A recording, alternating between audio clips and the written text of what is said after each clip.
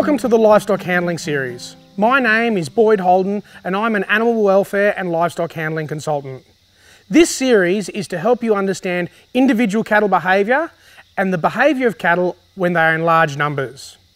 We then apply this knowledge and understanding to move cattle in the best and most efficient way. This initiative was through the collaboration of Meat and Livestock Australia and LiveCorp under the joint program Live Export Program. The Live Export Program aims to improve the welfare of livestock in Australia and overseas.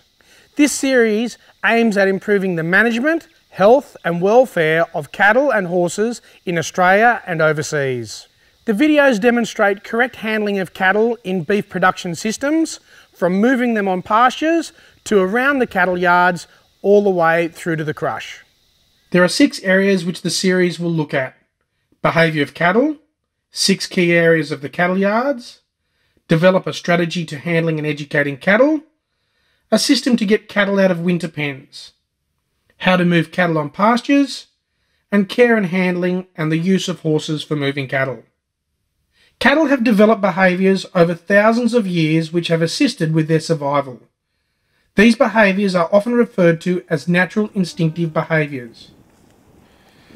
In order for cattle to survive, they have been looking for two things their own kind, other cattle, and predators, which is us. To help us understand this, there is a behaviour called the predator prey relationship. Cattle are prey animals. They are hunted by predators, such as us, dogs, wolves. So they can potentially see us as a threat.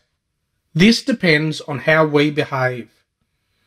We have distinguishing features as predators, and they have distinguishing features as prey animals. One such feature is that cattle have eyes on the side of their head. This enables them to easily look to see where the other cattle are and where the predator is. This has been very important for their survival. When cattle feel threatened, the natural response is what we refer to as fight or flight response.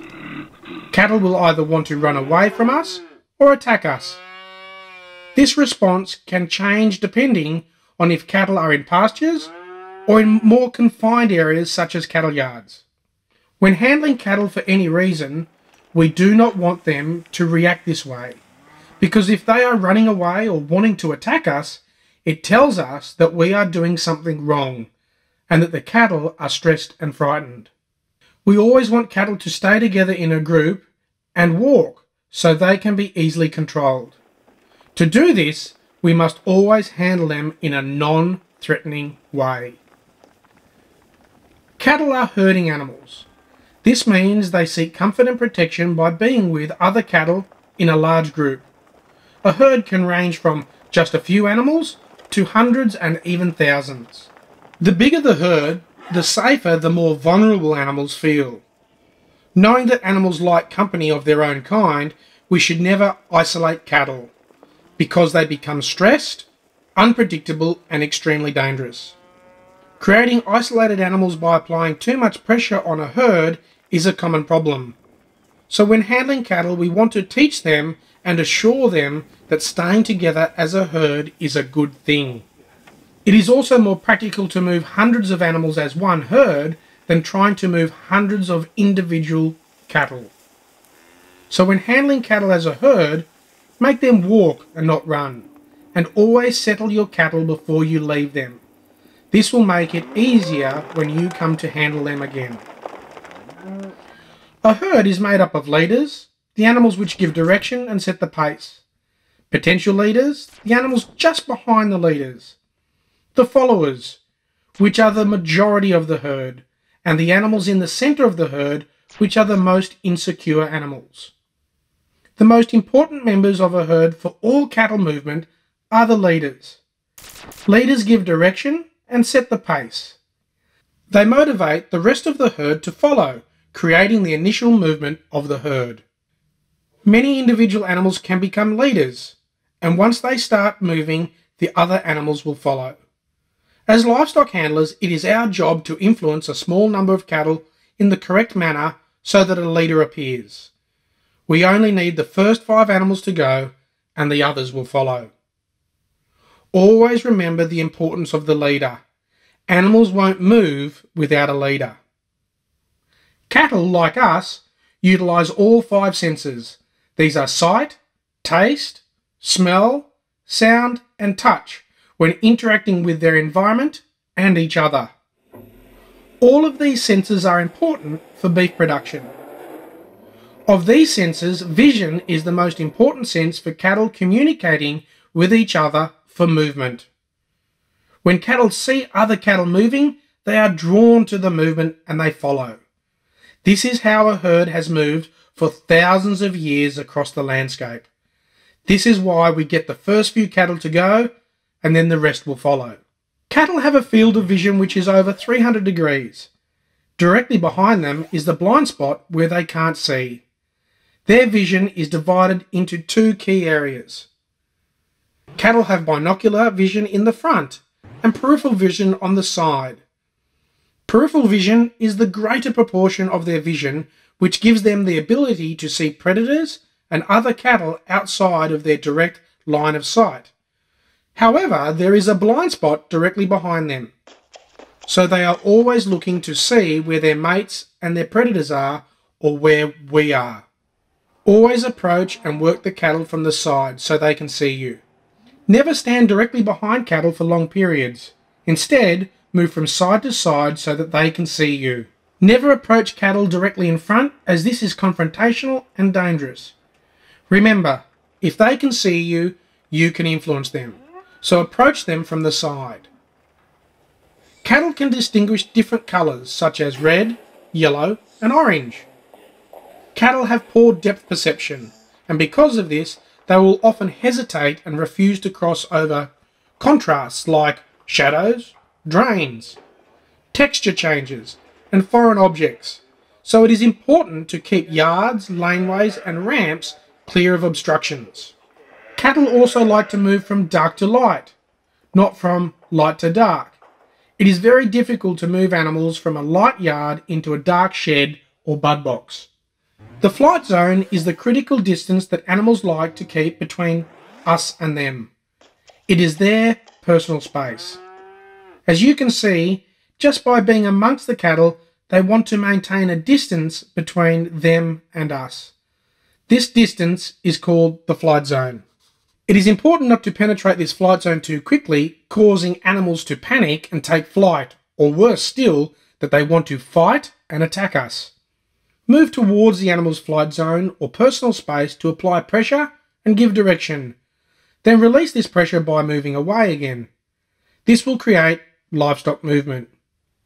If you have cattle which are frightened or uneducated, then we first want to reduce the flight zone. We do this by approaching and retreating towards the animal in a non-threatening manner. Cattle are experts at reading the body language of predators. When you are not a perceived threat, they will allow you to get closer. It is far easier to handle cattle in a pasture and yards when they have a small flight zone than a large one. By understanding the concept of the flight zone, you can influence animals' movement without causing them stress, which in turn makes our job easier. Understanding the four principles of livestock communication will help you to handle livestock in all situations. Principle number one is position. Where are you in relation to the animal's eye? For us to communicate with the cattle, vision is the most important sense.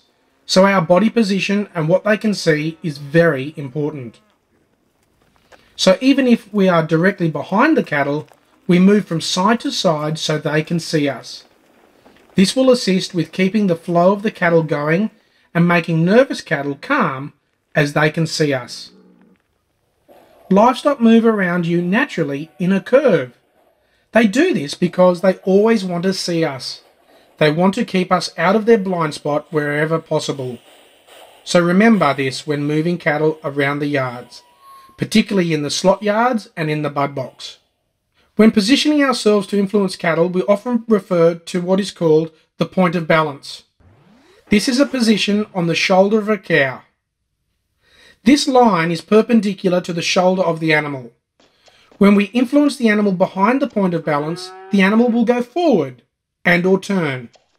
If we approach the animal from in front of the point of balance, it will slow, stop, back up, and turn. This concept helps us understand how we move animals and influence them in races, through gates, and around the pastures. To add to this is the concept of parallel movement. This is when we move parallel to the direction of the livestock. We can move in the opposite direction to the cattle, but parallel. The cattle will go forward and will speed up.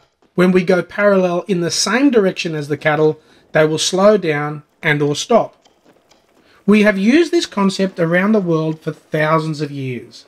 We do this on pastures to slow down or speed mobs up, regulating the flow of cattle through a gate, moving cattle down a race without touching or making noise. Also remember what cattle see will influence where they go. So remove any distractions and make sure people are not in the wrong position to cause cattle to balk or stop. When moving cattle on pastures, out of large pens and in yards, you'll be working with other people.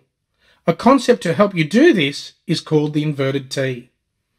The top of the T is at the back of the herd and referred to as the baseline and the stem of the T is the direction you are going. The baseline is where your position should be to influence the cattle to go where you want them to go. Note that the baseline is 90 degrees to the stem. Whether you are moving a single animal or thousands, this T principle will allow you to position yourself correctly and be of particular importance when you are working with other people. If you understand and use this principle, it will help you to no end. Principle number two is pressure. Pressure can be applied by moving towards an animal's flight zone. We must try and ensure when we do this that the animal has somewhere to go. After we apply the pressure, we must release it. This is the reward for the cattle. The timing of the release is very important and separates a good stockman from an average one. Principle number three is movement. Moving our body or our horse will create movement of the cattle. Our movement creates livestock movement. For animals to be influenced, they need to see the movement. So make sure you are in the correct position and then add your movement. For moving cattle down a race, use parallel movement and move in the opposite direction to the cattle to get them to move forward. If you are moving cattle down a lane, do not walk in a straight line. Instead, move from side to side using your body movement and going in and out of the cattle's blind spot to move them. When we are moving livestock for any reason, it is important to understand the movement and the flow of the cattle we are moving. Cattle will move much better when they are moving with purpose. This flow of cattle is very important to minimizing stress of cattle in all situations. It also helps us to be very efficient when moving livestock on pastures and through the yards. Principle number four is communication.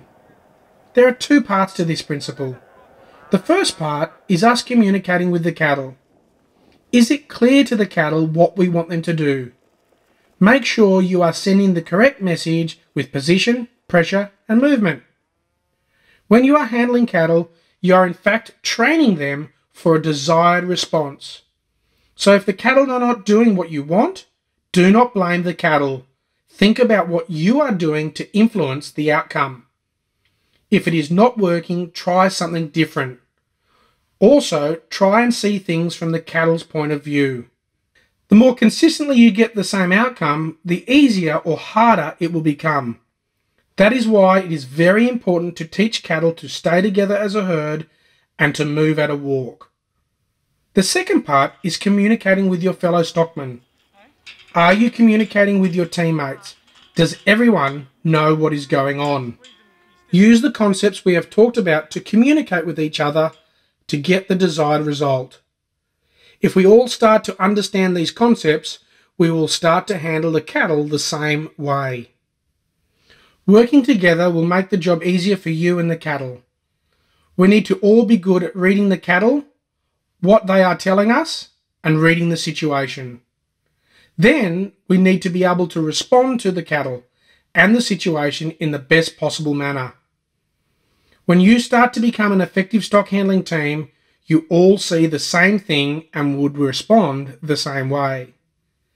This consistency is very important for the handling of the cattle and the beef production system. Make sure that you have a plan of what you are going to do. Do not rush. All good stock handling teams have a system on the pastures and in the yards. Doing these three things will ensure your safety and enjoyment whilst working cattle. It will minimise stress to cattle and improve cattle welfare. If things are not going right, stop what you are doing, assess the situation, and apply these principles to identify the problem. Remember, we are in control of the cattle. What we do and how we react determines the outcome. If we understand cattle behaviour and apply the four principles correctly, we will create a quiet, stress free working environment for both the cattle and us. We are in fact cattle trainers not just cattle handlers. Thank you for watching the cattle behaviour section. You can now go on and watch the rest of the series and see how the principles that we've talked about apply to moving cattle.